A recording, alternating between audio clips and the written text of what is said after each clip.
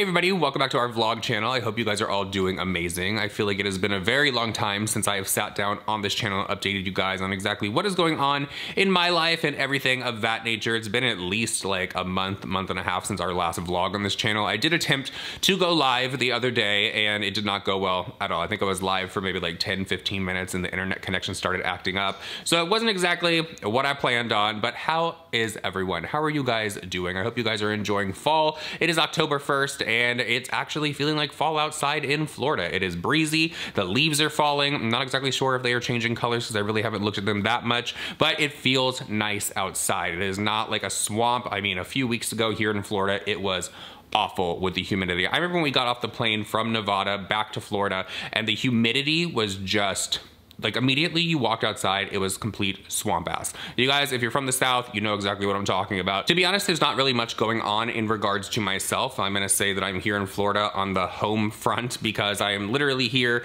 every single day. It is dealing with something that has to do with my mother's estate or I'm making sure something is filed. And I don't think that I've really had the proper time to grieve the loss of my mother. I feel like I'm just going through the motions because I really did not understand you guys that when someone passes away, of course I saw some of the things that my my mom had to go through when her parents passed away. I saw a little bit when my father's parents passed away, but not too much because he had a lot of siblings. So it wasn't really that much that he had to do. But i did not understand. Just like once someone passes away it's like go go go go go. Make sure you have this i dotted. Make sure you have this t crossed. Otherwise they're gonna be like eh you didn't file it in time. So I guess just F off. I mean, it is so crazy the amount of stuff that you actually have to do, have to file, have to make sure that you find. And trust me, older people, you guys, I'm just gonna say this, older people, they like to hide things around. My, I know for a fact that my grandfather was like this, like you would have a stack of papers that would just literally look like junk mail. But then if you go through it, you're gonna find like a deed to a house or you're gonna find like a life insurance policy over here. So it has really been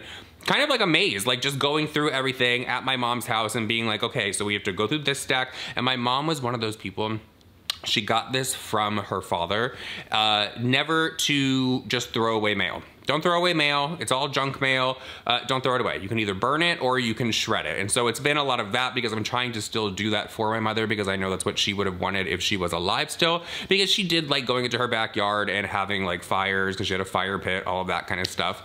Um, so I'm trying. But a lot of this mail that my mother gets and still gets to this day are from those Christian organizations, you guys. And I wish that I would have thought of this before I actually started shredding it or like burning it in the fire pit, that kind of thing. I wish I would have taken a picture picture or I wish that I would have set it all to the side so you guys could see how much paper and postage is wasted by all these Christian organizations. And I'm not I'm not knocking Christianity or anything, but I'm telling you guys no. And maybe some of y'all know as well out there if you're subscribed. It's uh, Joseph Prince is one of them. Um, the guy that was like, oh, COVID, whatever his name is, I can't really think of it right now. They send out so much mail. And it's always those things like, oh, you send a dollar and we're gonna send this back. Like, no, no, you're not.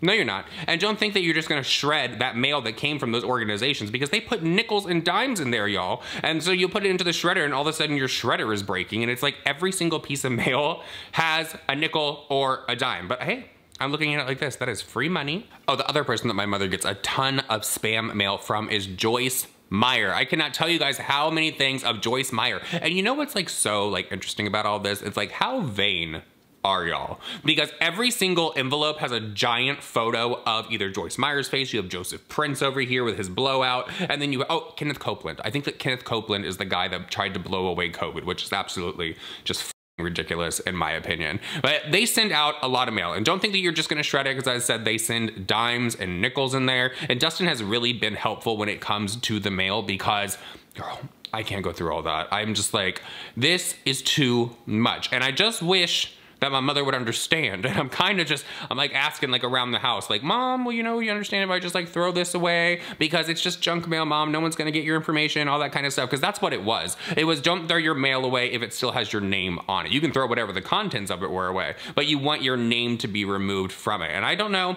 maybe there's a lot of people out there that do that. Personally, I'm not someone that does that. If you're someone that does that, let me know down in the comment section because it's a lot if you don't stay on top of your mail and you just start to get all those stacks upon stacks upon stacks. Hell, maybe my mother was just trying to get stacks of mail because she really did enjoy those bonfires out back. I'm not exactly sure. That's really the only update I have in regards to anything going on with my mother. I do want to do a video of like really cool like old things that I found in her house. I want to do a video as well showing like pictures and all that because why the hell not? Let's like celebrate life. Let's celebrate like all of like the good memories and all of that because Oh, that's another thing that I wanted um, to talk about. As I've been cleaning out my mom's house and I've been going through photos, looking through them, and the few of them have really got me, you guys, because it'll be like a stack of photos. It'll be like happy memories, my mom with her friends, like taking pictures, looking happy, smiling, and then there'll be a dead person. and I'm like, I don't know when that started um, because when I was growing up, whenever we would go to a funeral, I don't remember my mom ever like standing next to the casket and taking a picture with the dead person. I understand that a lot of people do that. Personally, for me, it is not a memory that I would like to hold on to. It's not a memory that I would like to have because when someone passes away, I want to remember them at their best. I want to remember them happy. I want to remember them laughing. I want to remember them just like smiling and all of that. So to have a photo of a deceased person in a casket while you're standing next to it smiling. Very, it's just, for me, it's creepy. If it's not creepy for you out there, okay, more power to you. But I really got messed up because I was going through a stack of photos um, of my mother and her friends and all that. And then there was a picture of my mother standing next to my grandmother's casket when it was open. And I don't, I don't know when that came on, uh, but that really like me up uh, for the rest of the night one night because I didn't go to my grandma's funeral. Um, I had a good long while to mourn my grandma's passing um, because we knew it was coming. Um, unlike with my mother, we knew that my grandma was going to go and it was only a matter of time. With my mom, I feel like I had that opportunity taken away from me and I don't like to say that does sound selfish because I mean, I I kind of just want to like look at this as like maybe a blessing. Maybe my mom like later on in life, maybe she would have gotten cancer and maybe she would have gotten to a really bad car wreck or maybe she would have suffered from dementia or Alzheimer's or something like that. So maybe this was the way that she was just meant to go with COVID. So I'm trying to look at it like that. I'm trying to look at it, um, I don't know, silver lining or something.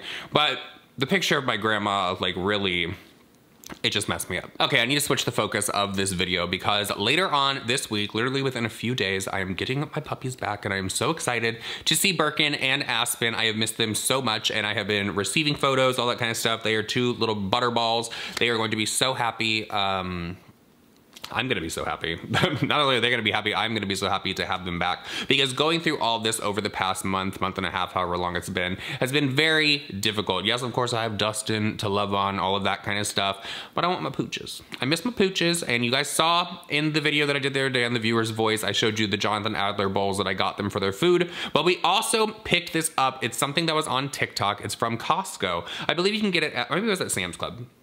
It was either Costco or Sam's Club, one of those. But it is this bed. It is a memory foam First of all, it's a lot bigger than I thought it was going to be. I thought that this was definitely going to be like the size for smaller dogs, but there it is. And it is so soft and nice. I've been hiding this from the cats. I know that Karma a few times has got her eye on it and I'm like, mm nope, that's for the pooches. You better not go near it. I just literally threw it onto the floor. She's probably gonna come running over to get it. But I am so excited to get them back. I can't wait to actually start vlogging and showing them in Florida, all that kind of stuff because I really want to get back to vlogging. I really want to get back to like showing different things that we purchase. I want to show different places that we go. I want to start doing that again because I really was enjoying that before my life literally like stopped. Like everything halted for me. And and honestly honestly i feel like this whole thing was a huge like wake up call. It really shifted my priorities. It really made me think about a lot of things and it made me question a lot of things and it made me just i, I don't have the same drive for certain things as i once did so i'm kind of in a transition and it's kind of it's exciting um, is something that I definitely want to share with you guys. But I don't know. I just it's been very difficult for me to sit down and get my mind off of what has been happening here in Florida. It's definitely been difficult some days for me to leave the house, as I said earlier in the video. I've been trying to take care of myself as best that I can. I mean, I'm dropping weight left and right. I'm at 193. So I think that I'm up a little bit than I was the other day, but I don't know. Maybe that's just a poo baby. I'm not exactly sure. I did go and I got the Moxi laser treatment, which is just resurfacing my skin. So you guys can probably see some like splotches and discoloration in here because it is starting to, they say it gives you like this bronzed look and that's just basically your old skin lifting up and a week from now I need to exfoliate it off. I have not been able to put a moisturizer on it because I don't have the right moisturizer with me, but I did wash my face today and it was with the Alicia Keys uh, whatever the one she came out with, it's an Ulta, it's with e.l.f., all that. Um, I did use that and you just like pat it on because you can't rub your face right now because you could get hyperpigmentation, all that. But I did find this, I did find this earlier today. So this has definitely been a godsend because since I can't really put any other moisture on my face, why not put some ridiculous water on my face? That is so refreshing. So yeah, that's really all that is going on with me. I know this video was all over the place, very rambly. Um, it's probably not gonna make sense as I'm like editing it back. Who knows if this video will even go up because last night I was sitting here trying to vlog as well. I went on a rant about Jaclyn Hill, you guys. like, just a random rant about Jaclyn Hill and how now it's not gonna be so easy for her to hide her links over on Instagram because they got rid of the swipe up and now it's the bubble. And you know, Jaclyn Hill likes to put sponsored posts without saying hashtag ad as one is supposed supposed to. Although I what someone could argue, and I have seen this down in the comment section before, that the Magical.ly and the reward style, which are these links that you can like earn money from if someone clicks on the link that you have and they shop through it, then you can make money. Some people are like, those aren't sponsored posts, but then other people are like, no, they kind of technically are because she's still making money off of it. Let me know your thoughts and opinions on that down below actually, because now I'm curious. Do you think that she's not disclosing her ad by putting that link and it's a Magical.ly link? Or do you think that she should put hashtag ad even though she's maybe not earning money directly from the company? Hmm. Let me know all of your thoughts and opinions down below, you guys. I love you. Thank you guys so much for sticking around and all the support during this time. And if you're on the podcast, I am so sorry. I am so sorry that there has not been a podcast posted in a good long while. Um, we are getting our podcast equipment back, so the quality will be back. We are going to set something up. I don't know. We will get it figured out, and we are going to do something special for you guys. So with all that said, I love you all. Have a good night or a good day, wherever you are.